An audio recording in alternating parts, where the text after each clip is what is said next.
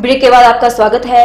भाजपा के राष्ट्रीय अध्यक्ष जगत प्रकाश नड्डा का सोलन पहुँचने पर जोरदार स्वागत किया गया। इस मौके पर पार्टी अध्यक्ष राजीव बिंदल, मुख्यमंत्री हिमाचल जयराम ठाकुर, पूर्व मुख्यमंत्री शांता कुमार, केंद्रीय मंत्री अनुराग ठाकुर, मंत्री राजीव सेजल, सांसद सुरेश कश्यप भी मौजूद रहे। जगत प्रकाश नड्डा के अभिनंदन कार्यक्रम में उन्हें तलवार भेंट की गई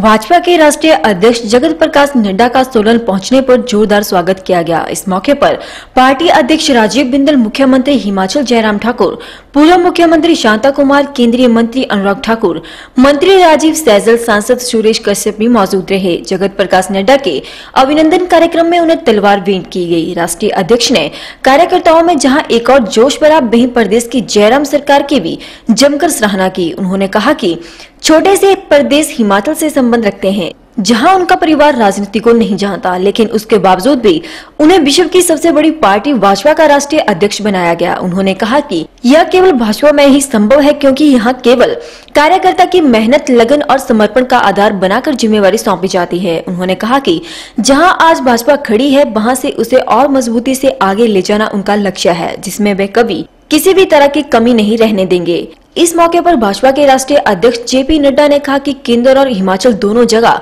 भाजपा की सरकार है। यही वजह है कि इस स्थिति को डबल इंजन की सरकार कहा जा सकता है जिसमें विकास की रफ्तार बेहद ज़्यादा होती है इसलिए इस रफ्तार को कायम रखने की ज़रूरत है। इसलिए सभी कार्यकर्ताओं को प्रदेश के मुख्यमंत्री का साथ देना चाहिए ताकि हिमाचल विकास के नए आयाम छू सके। उन्होंने कांग्रेस और विरोधी पार्टियों पर तीखा प्रहार करते हुए कहा कि सभी दल वंशवाद परिवारवाद जातिवाद समुदायवाद से लिपत हैं, लेकिन भाजपा ही एकमात्र ऐसी पार्टी है जिसका आधार विचारधारा है। कभी कल्पना ही नहीं की थी। मैं व्यक्तिगत रूप में कभी भी इस प्रकार का इंसान नहीं रहा जो किसी पद के लिए काम करता है। लेकिन आप लोग का आशीर्वाद, आपका प्रेम, आपकी ताकत, आपका लगाव ने मुझे ये जिम्मेवारी दी है।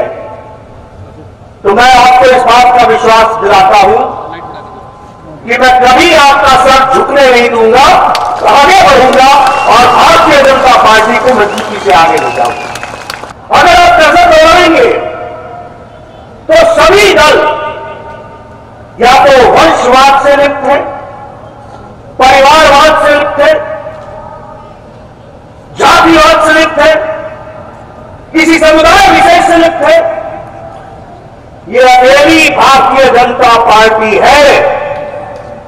जहाँ वंशवाद नहीं है, परिवारवाद नहीं है, व्यक्तिवाद नहीं है, यह विचारवाद है और विचार को लेकर के चलने की कि जब डबल इंजन की सरकार होती है तो डबल इंजन डबल स्पीड से चलता है। और जब सिंगल इंजन की सरकार होती है तो रुकावटें आती आती है कि नहीं आती है? आती है कि नहीं आती है?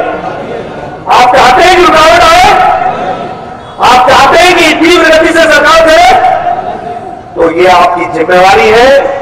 ऊपर मोदी जी, नीचे जयराम ठाकुर और उनकी टीम इनको मजबूती प्रदान करते हुए आगे बढ़े, ये आपसे